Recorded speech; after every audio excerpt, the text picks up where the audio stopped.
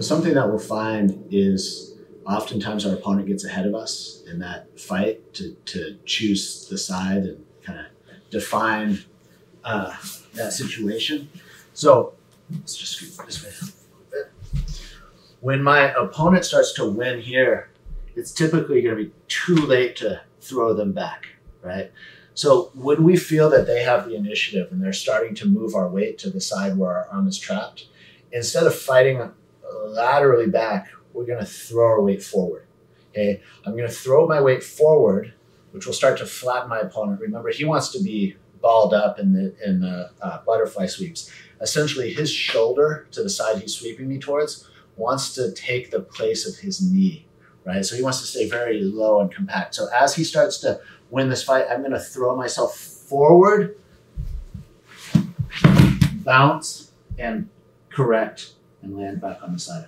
So it's going to look like this angle as I start to be taken sideways. I'm going to push off my toes. That starts to flatten and kind of overextend my opponent. And then as he starts to push the ground, I'm going to unlock my leg so I can push and land back on the side where I can use my underhook to control uh, my opponent flat on the floor. So one more time, from this angle. Let's see.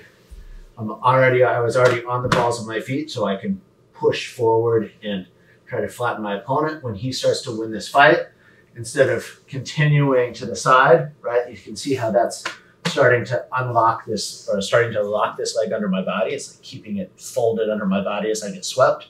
I'm going to throw my body forward so I can push the floor and come back to this side. Okay. And so the kind of the second game we can build out of this is uh, now our opponent is trying to sweep us to that side rather than just, you know, uh, get a shoulder on the mat, right? And then we're trying to get our opponent back to the this side.